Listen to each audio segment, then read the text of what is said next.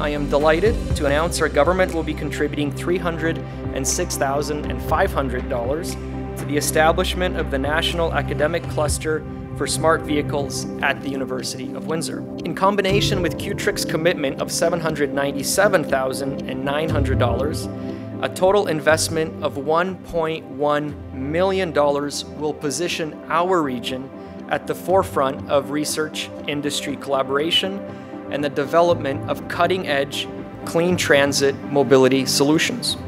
We are fortunate to have extraordinary teams of researchers and expertise at the University of Windsor, improving cybersecurity, developing software to manage digitized fleets of shuttles, and creating common charging stations that will support the electrified vehicles of the future. We are asking the tough question that are you sure that you're getting the cleanest the safest and most secure hardware or not. This affects the manufacturing, this affects the way that the integrity of the supply chain is going to be reviewed. We need to start thinking about uh, creating certificates, standards, and ensure that parts that arrive here are actually have the integrity and security that we are promised. Windsor is the best positioned city in which to launch this kind of initiative to create future mobility for all Canadians.